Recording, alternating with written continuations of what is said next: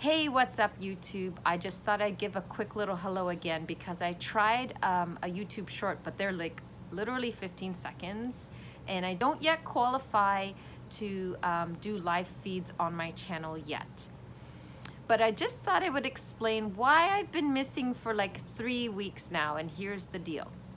Leading into the fall and in Canada, in Ontario where I am, things have been opening up and everyone's trying to get some semblance of normalcy or traction in life going back on again, right?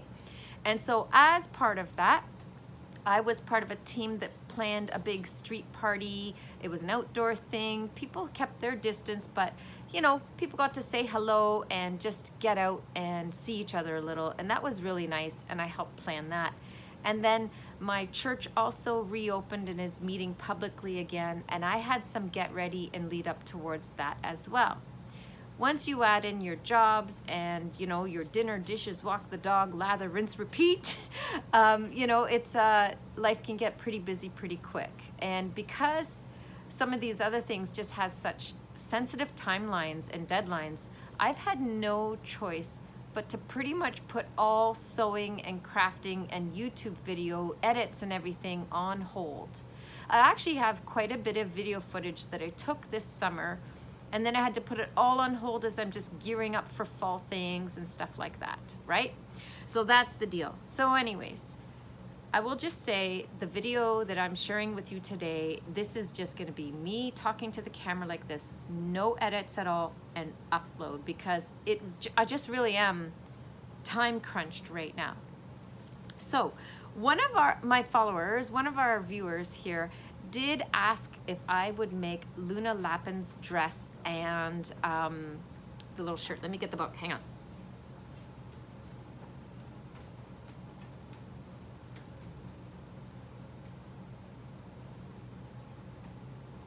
Oh, there it is.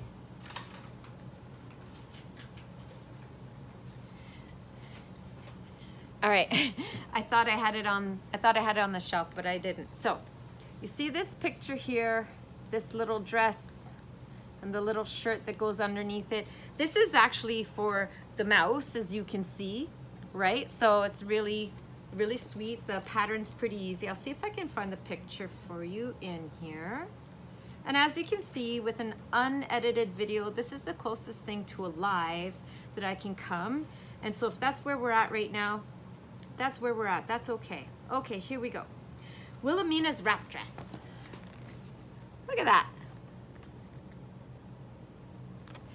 Here's what I came up with that I'm gonna make that with. Check out this fabric that I got. I'll move my chair out of the way so I can show you here Look at this. Cool piece of fabric here.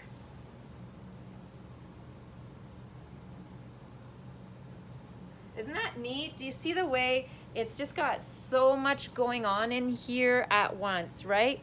Like we have this nice little floral print here. Then we have like indigo, navy, blue, and white there. And then we've got like a softer floral print there. And then finally, this very country calico-like. So you see guys, this is all going on in here. And um, I'll bring my chair back. So I got this stuff on sale for like $5 for the meter, five Canadian dollars, right? And it is um, almost 60 inches wide. It's a wider fabric. It feels like cotton or cotton and polyester, but it said it was unknown fibers. That's why it was so cheap. And I did only buy one meter because this was something I picked up in the summer that was like um, just a, I just thought it was cool. And to be honest, I decided this would have made the coolest looking little peasant style top, just a loose, flowy kind of thing. And I realized this, like, well, if I want to do that, I don't have enough fabric. So here's the story. I went back to the fabric store a couple of weeks ago and I had bought this um, mm, six weeks ago, I guess. And so I went back to the store with the hopes that I'm like, oh, maybe there's still some left. Maybe it's unusual enough no one else liked it, right? Don't we all tell ourselves these things when we're trying to go back to the store for something? Exactly. So I go back to the store and I combed through that store. Um, the the big chain store that we have in Canada that I don't know if uh, all my other viewers have heard of, it's called Fabricland. It's a big fabric store chain that carries a little bit of everything. And you know, like any fabric store, if you shop on the sale rack and stuff, you can do pretty good. But if you're just shopping everything like newest release off the rack, it's gonna add up. So I am a fan of the sale rack and you see my doggy is back here. Hey Sky. So anyways, um, I went back with the hopes that I could find more of this fabric and I even had a sales girl help me find the table where these um, sale fabrics were and I found one of the other bolts of fabric whose print I remember but it wasn't a print I necessarily wanted but I knew I was in the right area because I was like oh I recognize this other bolt of fabric right I looked and looked and I checked other sale racks and I checked hidden places. I checked quiltings. I checked everywhere thinking, oh man, if I could just get a little more of this, I could make this cute little blouse and it'd be so cheap. And then you get the bragging rights of saying, I made that so cheap, right? Anyways, none of that worked out. I actually, for the first time in a long time, two weeks ago, when I went to the fabric store, I actually left empty-handed. Can you believe that? How many of us can go into a fabric store and resist not even just buying a little bit of thread or a new tape measure? When you sew, when you're a crafter, you can always see potential in something and you can always be replenishing your stash of something. And so the fact I walked away with nothing in my hands, I was actually pretty proud of that little moment. So that was pretty cool. So anyways, back to Luna Lapin and friends. I have not had much time to get to this because I do have some uh, friends and family, both. Two very dear people to my life. One of them is immediate next of kin and the other isn't. And they're both very, very ill for very different reasons. And it is occupying some of my time in the background, be it emotional strength and durability, um, or time that I'm spending on things that I want to right now because the time won't be there later. Um, I have between that and leading up for fall kickoff and everything, guys, it's just been really busy. And so I've had to put things on hold. So I know all my friends here who like Luna Lap, and I know you guys are waiting for the next project. And I do expect that maybe this weekend I can whip off Wilhelmina's little shirt and dress. But this is the fabric that I am looking to do this with. Now, even though this is sort of like my version of a live video and I am gonna post it, I'm gonna post it today, which is Thursday, September 16th. If you're willing to be interactive, you know what I would love you to do is comment down below which print or combination of prints because I can fussy cut this, right? Do you know what fussy cutting is? Fussy cutting is, if you want to fussy cut something, let me get you a different fabric.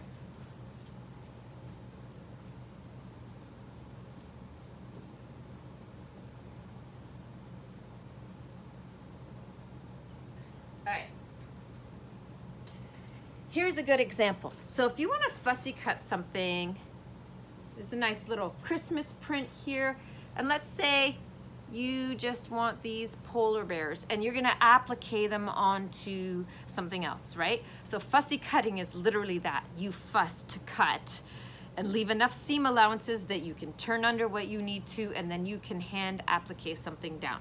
So the idea here is with this, you could fussy cut, you know, these bigger chunks or some of the smaller chunks. Let's take a look at the pattern book and see where Wilhelmina's um, little dress pattern is to see parts of her pin tuck top are here. Okay. Can you see that with the light? see that? So this is Wilhelmina's wrap dress. That's one part of it there. That's another part of the wrap dress there. And all of this page here, that's looking to me like it's also wrap dress and pin tuck top. So they do need to be somewhat decent pieces. But that being said, do you guys have a favorite? Do you? Do you like the indigo? Or the prairie floral? So yeah, here. We're gonna name the four prints so that if you decide to comment down below what you'd like to see the dress made out of, you can cast your little vote on that. So we are gonna name this like this. Large floral, makes sense, right? And this one we will call an indigo floral. The smaller one that's almost like a calico print, I'm gonna call that a prairie floral because it's fun. And then honestly guys, aside from that, it's only the three because the fourth one is this little floral print here that it kind of goes in a long strip, right? So that'd be great for accessorizing. You know what else would be really cool? Look at this part. See, it's just such an interesting piece of fabric, don't you think? But all of this would make a lovely skirt hem or like a waistband or I don't know. Anyways, tell me what you think, guys. But I think it's a quite a workable fabric for Wilhelmina's dress. I do have quite a small assortment, like small half meters and stuff, but I have a decent enough assortment of white fabrics that I, I'm pretty sure I got something for the top, but it's not, not really necessary to go through because the white quilting fabrics I have, I can grab one to show you that I don't think you can see it on camera as well.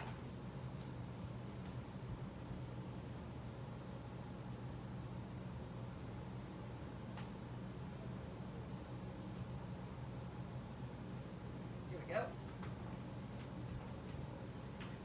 So for example, this, I guess, once again, if I create a, I create a shadow or a ledge, I don't know if you can see, oh, you can see it a little there. So you can see that's like a white fabric with a little diamond cut. And um, I will sometimes go by like, this is all I have of it, right? That's folded. So it's, honestly, it's literally a half a meter. So anyways, I was thinking I could maybe use a little bit of that and put that with this. And that's gonna be Wilhelmina's shirt and dress. And so it is coming up. Uh, anyways, let me, let me know guys what you, if you want to vote down below, let me know. And um, I also just wanted to say, if you've made it this far in the video, thank you so much for watching. For all my subscribers, I have crossed the 100 subscriber mark and I just thank you so much. I am trying to grow this channel so that one day it can be monetized, but I'm willing to just do the journey however long it takes to. I'm not gonna force stuff through before it's meant to be. However, when you watch the YouTube schools, they do say things like, if you can get 100 subscribers, you can get a thousand. If you can get a thousand subscribers, you can get 50,000. And a lot of these YouTube schools say that uh, the first 1,000 subscribers is the hardest to get, that once you have that, it's actually easier to go from a thousand subscribers to 50,000 than it is to go from zero subscribers to a thousand. You guys have helped me get there because I now have 107 subscribers. And again, I just thank you so much. I also thank you for your patience. Well, it just really has been, I just have so much stuff going on at once right now that I, as I'm describing that um, I'm willing to grow this channel when and where I can. I am invested in it, but I have to match these other responsibilities in my life with my attention as well. So again, guys, just thank you for your support. Thank you for watching. Thank you for subscribing. Every video you watch to the end helps my channel grow. Every like you click, every comment you leave, every subscribe. So thanks again, guys. And I will be revisiting sewing. I will have time this weekend. So let me know. I'm definitely using this fabric for the dress. But if you think one of the prints is a little more appealing than the other, I'd love to hear from you. And pretty soon, little Miss Luna Lapin is going to be doing a little fashion show with her new outfit. And also when I can return to sewing, I do have some supplies. I'm gonna make a few more of the friends from this book. So soon, Luna can throw a party.